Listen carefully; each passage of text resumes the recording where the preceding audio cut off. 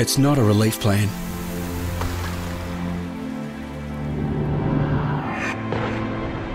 It's not a love note. It's not a million signatures. The most powerful way to help change the world is with a university degree that gives you both knowledge and experience.